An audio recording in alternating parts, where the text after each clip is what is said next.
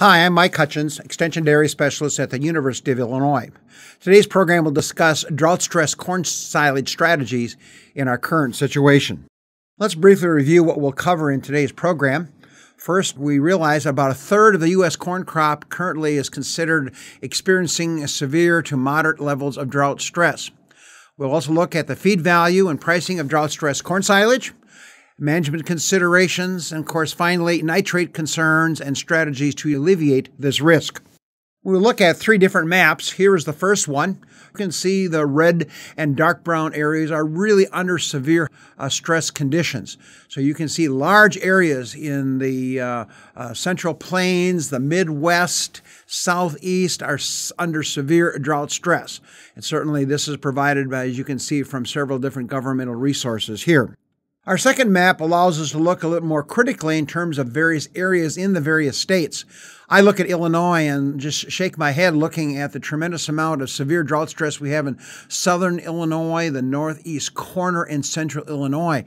That one in central Illinois is right in the heart of corn production. Look at our friends in Indiana and parts of Ohio and southern Michigan, also extremely impacted with drought stress. And these are huge areas in the corn belt. So this is going to have some uh, real huge impacts in terms of feed production, food production, and the price of corn. Our third map looks ahead on several months to say, well, what, what, what might change?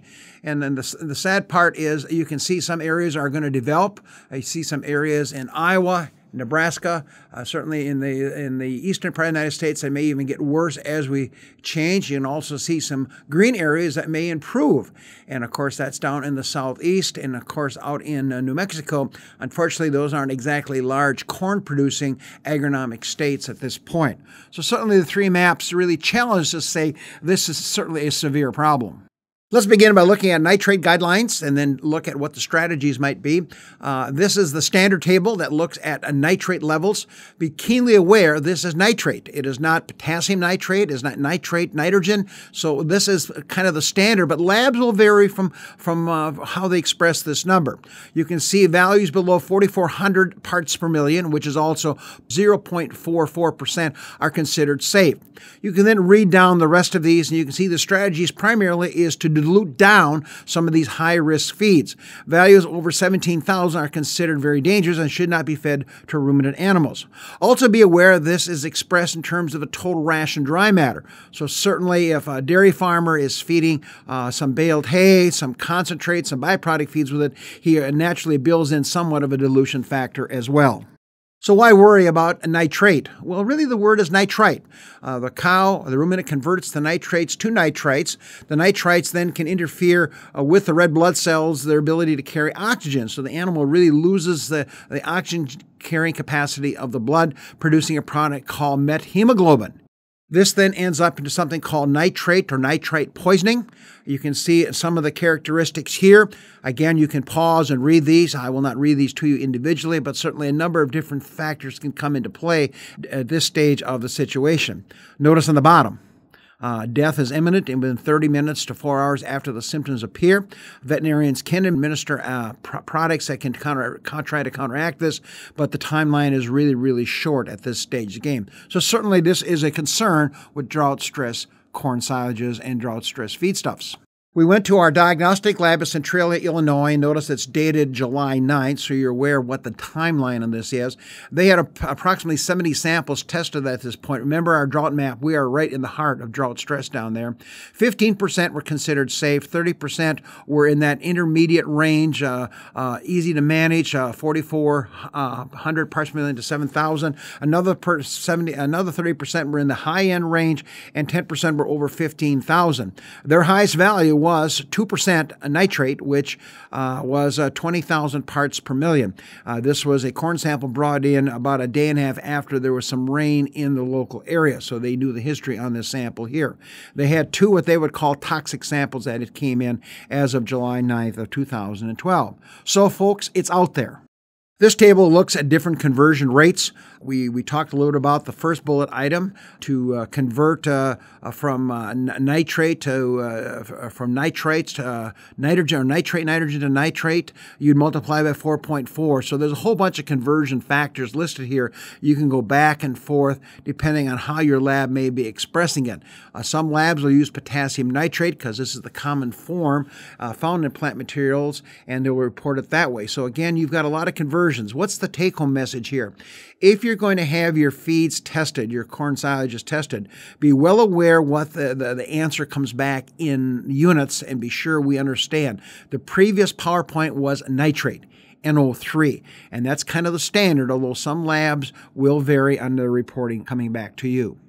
The next question might be well, what, what will the feed value of this product be? Uh, this is some work from the University of Maryland looking at normal corn silage.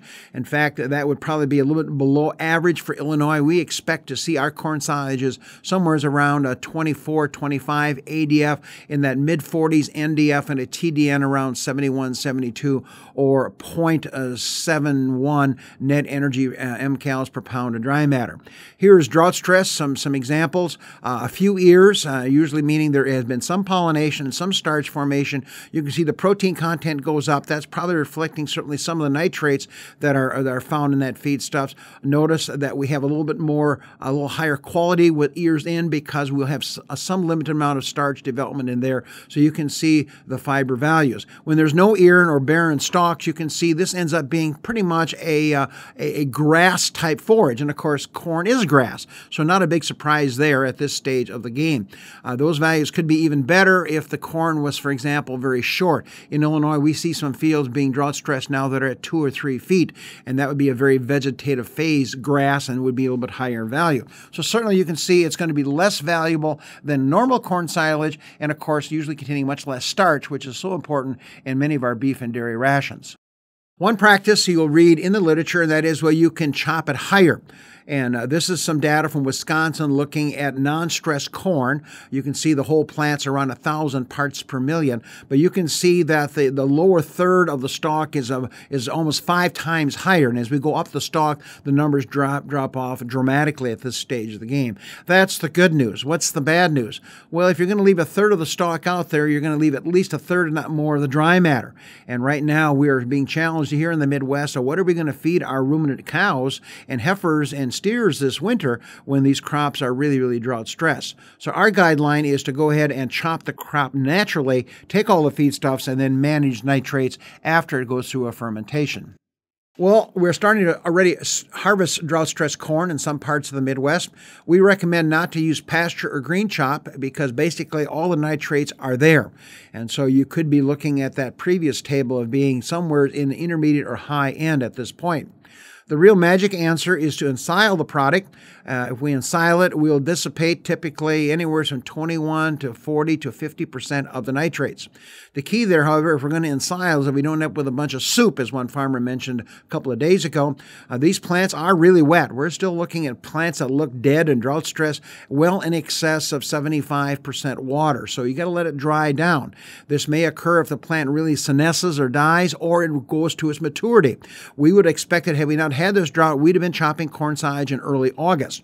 So certainly in another two or three weeks, this, this plant is naturally going to start uh, maturing and the moistures may drop down at that point. You can bale it. Uh, you would uh, swat it like you would any other grass crop, allow, allow it to dry out. It may take several days if it's fairly wet at this stage to get down there. Be well aware in the drying process, the nitrate values are not going to change very much, and so you don't get that benefit you see in the ensiling process. So here's a very busy slide that has kind of all the take home messages. Let's go through modestly quickly. We already covered that fermentation can reduce the nitrate content. Uh, this is a Purdue study saying 36 to 41 percent. Certainly, the moisture level of the corn sides, the extent of fermentation will impact that number. We already talked about high chop. Uh, one suggestion is a half to one ton of dry matter per foot. Uh, the, a big range because uh, depending on uh, how tall the plant is, if there's partial ear in there, if there's any starch in there, but certainly a guideline at this stage of the game. We highly recommend adding a bacteria inoculant, uh, primarily because the natural bacteria that would cause the fermentation to occur probably will not be non existent in these plants plants with a tremendous stress and heat conditions, these bacteria aren't going to survive very well. We would not add urea or an NPN source to it. This will delay the, the fermentation process. We have all kinds of nitrates. In fact, we're trying to get rid of them. And so the last thing we need to add is more uh, NPN here to the corn silage. Also, it's fairly basic and it will uh, delay the harvest, the, the pH and drop the pH. We want to get there as quickly as we can to make a good silage. Also, limestone would fit in that same category. Uh, some farmers add limestone, to try to extend the fermentation. Trust me, we want to enhance the fermentation and get it started very, very quickly. I would not recommend adding corn or barley, other grains to the drought stress corn silage. Yes, we are missing starch, but I would rather add that at the time of feeding. Uh, the risk when you add dry corn or dry barley is that now you start changing dry matters, and the, the fermentation does not go well. Now we, we, we, have chased some very expensive feedstuffs uh, into a, a product that may not be very valuable. Uh, a take home message certainly, those of us who are going to silo this into upright silos, silo gases are going to be a huge risk. We argued never to go inside a silo with higher nitrates without having a supplemental oxygen source. Some people say you can run a blower. We get nervous about that. I think you need to have oxygen to go in there. It will take several weeks, and this gas is very, very lethal. So we don't want to have any people dying going into silos, uh, checking on, on silos and packing silos and things like that.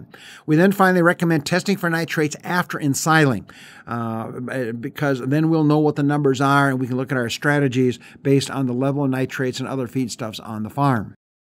Two other points. First of all, uh, if it does rain, we know that the, the roots are very active yet and they will quickly suck up nitrates from the soil. If there's very little green material, then we can continue to, to accumulate nitrates in the plant itself. So be well aware that if it does rain, you don't want to be out there chopping. Uh, some uh, guidelines say to wait at least a week or 10 days to two weeks before trying to let this nitrate to actually shift into or, or produce into uh, live material.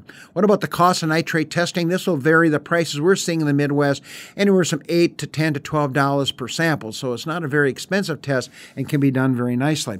There are some field tests done uh, with a powder, but this can be somewhat dangerous because it involves sulfuric acid, and we've been very cautious uh, looking at this test. I think you just want to go to a lab and actually have it uh, measured as far as that goes.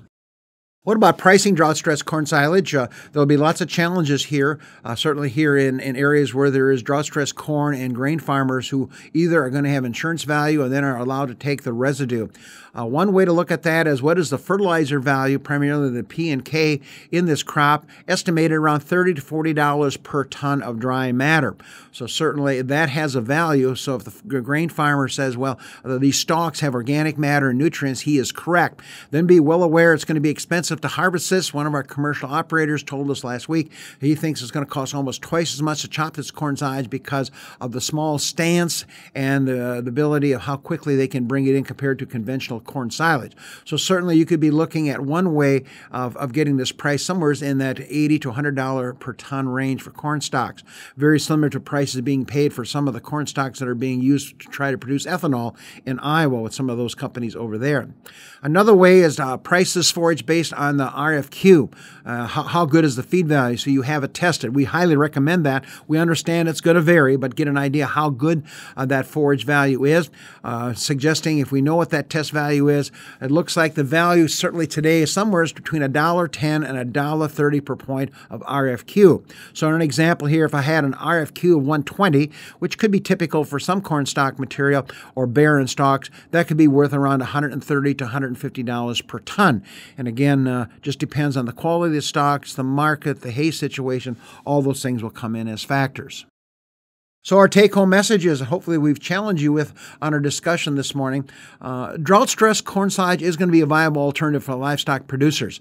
Trust me, when November, December rolls around, we have to have forage inventories on our farms to feed these cattle. We are hearing both beef and dairy producers feeding hay right now. And of course, with the severe drought stress, there is no third, fourth, or fifth crop coming in some areas here in the Midwest. We suggest delay harvesting until it's the optimal dry matter, depending if it's in a bag, bunker, pile, or upright silos and be aware if the plant has green tissue on it and we get some moisture, then the plant will continue to grow. You may not get any more, have any cob or starch fill out at this point, but the plant will deposit more material and increase dry matter yield. Nitrates are a problem, concern. We need to manage them, be aware what it is, and decide how we're going to handle it on our individual farms. And finally, the value of drought stress uh, corn silage could vary from 90 to 150 dollars a ton, depending on our calculations. Well, that completes our discussion for today. Thanks. Have a great day.